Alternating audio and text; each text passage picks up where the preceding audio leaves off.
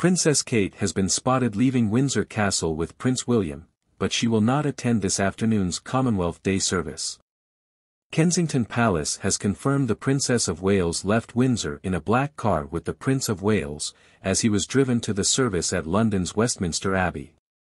It is not known exactly where the Princess of Wales is headed, but it appears to be following a similar route into central London. Princess Kate was pictured sitting in the back seat of the car and looking out of the window, whereas William was looking ahead. Prince William has since arrived at Westminster Abbey, joining Queen Camilla at the service.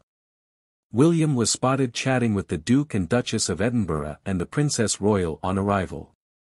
It comes as the royal family is facing calls released the original Mother's Day photograph after the Princess of Wales apologized for editing the family portrait published on Mother's Day amid speculation edits had been made. On the official Twitter account for the Prince and the Princess of Wales, Kate admitted, like many amateur photographers, I do occasionally experiment with editing. I wanted to express my apologies for any confusion the family photograph we shared yesterday caused. I hope everyone celebrating had a very happy Mother's Day. C.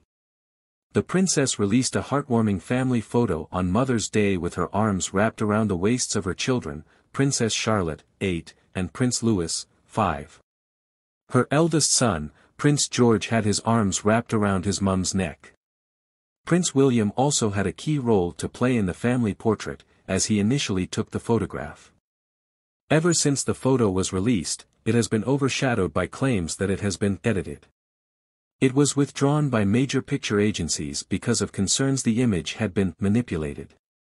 Royal sources said the Princess of Wales made minor adjustments and that Kate and the Prince of Wales wanted to offer an informal picture of the family together for Mother's Day.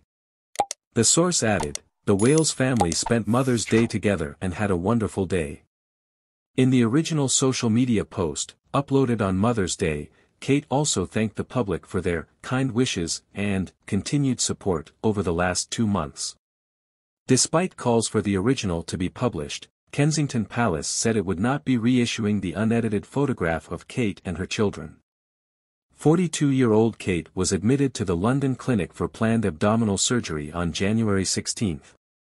She returned home after 13 days following the successful operation and is thought to have been mainly recovering at her home in Adelaide Cottage, in Windsor. In an official capacity, Princess Kate was last seen in Sandringham on Christmas Day with the wider royal family. Kensington Palace have informed the public that Princess Kate is expected to return to public royal duties after Easter.